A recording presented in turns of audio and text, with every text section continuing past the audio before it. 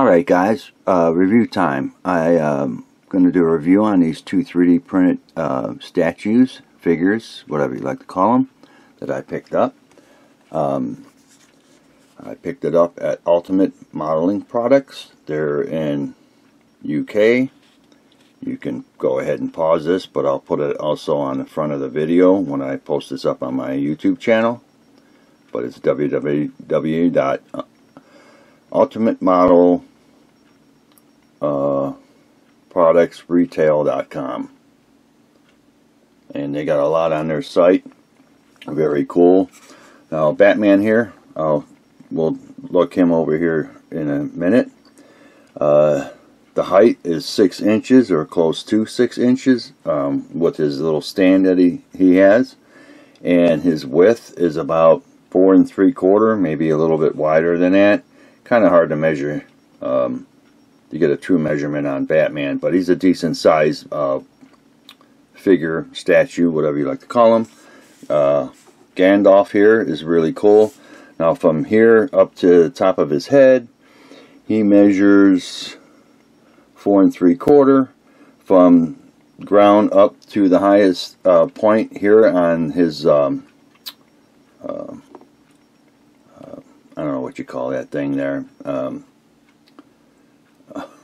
I don't know, but um, to the highest point is um, five and three quarter.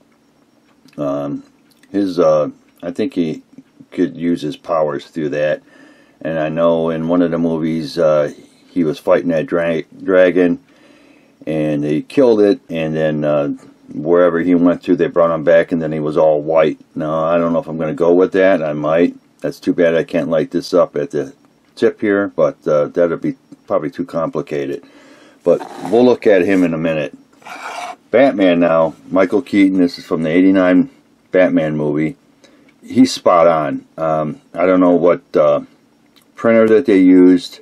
I don't see any cleanup on either one of them. I will probably clean these up first before I paint them up. Uh, probably use Dawn soap and warm water and just clean them up real good. He feels like he's hollow, but uh, very sturdy and really a uh, great job on this print. Uh, nice key on the bottom here, as you can see here.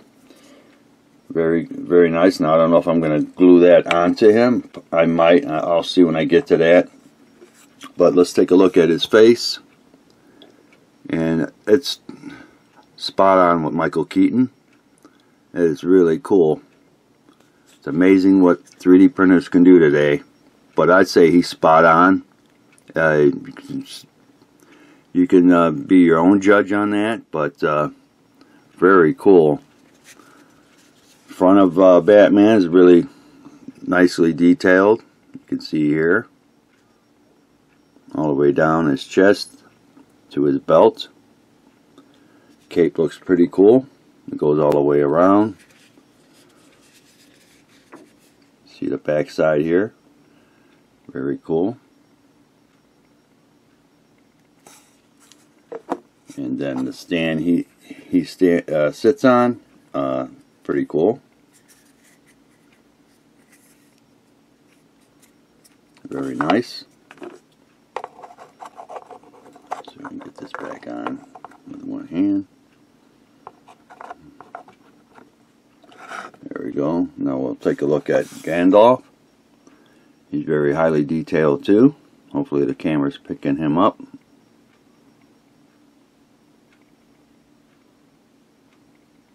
There's his sword. Very cool. Don't get me lying, I forget what you call that rod thing he's holding in his hand. I know it's like made out of wood, but really cool. And I, I like the Lord of the Ring, Ring movies, I like Harry Potter movies. I like all that stuff, and I can watch the Lord of the Ring movies over and over again. And I always did like this wizard. But I figured I'd share this with everybody. Very cool.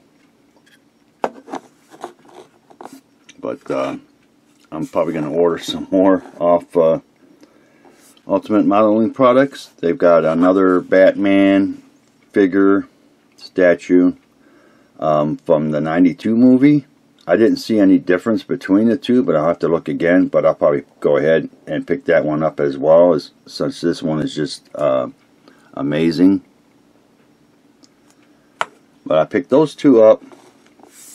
Took about two weeks. And I also got in order these uh, sanders from Ultimate Modeling Products. And they come in different uh, uh, 180, 240, 400, 800, and 1200 grit. And I got a set of two. Um, which I never have enough uh, sanding materials, but I figured I'd give everybody a review on these two. I'll post this up on my uh, YouTube channel maybe today or this weekend. This is Friday, May 20th. So uh, I'd like to thank everybody for watching. Be safe out there. Like I said, I'll call this a wrap on these two, and I'll talk with everybody later.